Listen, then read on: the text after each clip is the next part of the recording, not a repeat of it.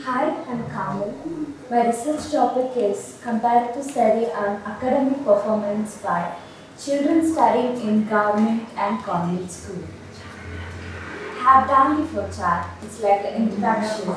First, I've gone through the what is education and then my views. And then later I've taken the review of literature from other sources, what the author says about the education and for the children a research methodology, a company profile of the schools in government, and a data analysis. Interpretation I have collected from all review of literature, and then my findings, limitations, suggestion, conclusion. I've stated about the research methodology. A research methodology is like aims of study, my aim is to what is the reason that government school cannot perform a good in academic.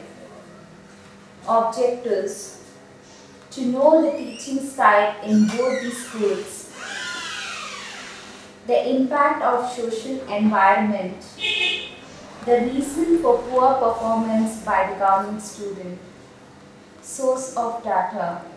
It's both primary as well as secondary.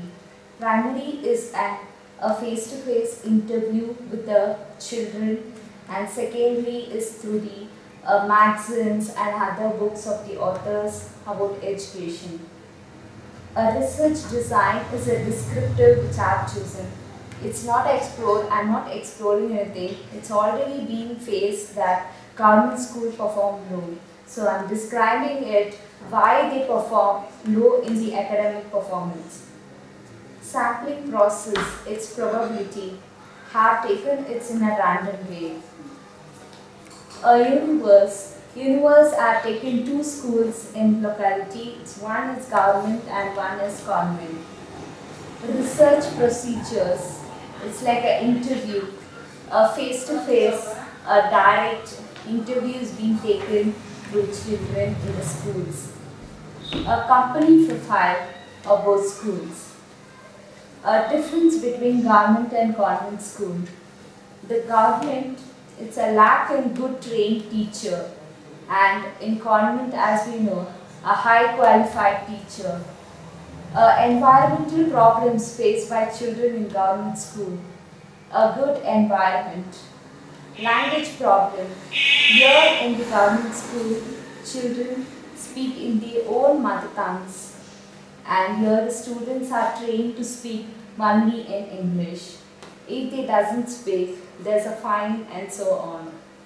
Teacher absentees are more in government school and they are not bothered about their schools because the salary is being provided by the government and no one, rules and regulations is not being followed. Not much absentees here. And students lack opportunity in school as they are not able to exhibit their talents and their interests in the field.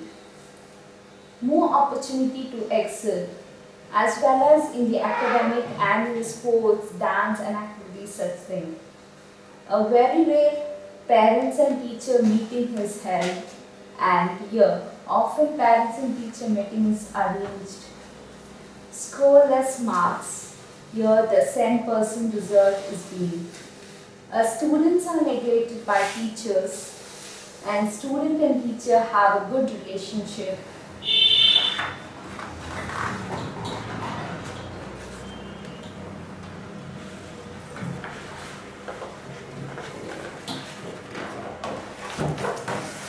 Findings. My finding is a government school student can do better in their academic performance if all the needs have been fulfilled a teaching methodology should be changed in government school. The space of communication with students and teachers. A parent's role are involved in students' performance. Here the parents of the government school are neglecting the children. Uh, here they have the family problems and this may involve the children to get a low performance in academic. A school development is not faster in government school and whereas the, the basic facility is not even covered. Unhygienic environment in government school when compared to convent school. Rules and regulations should be maintained in both the schools and opportunities for the students to show their talents and sudden dropout of a school student should be questioned to the parents. Here the company profile of a government school. Majority girls should be educated. As we say, a girl one is educated, she educates the whole family. Once a family is being educated, it covers the community.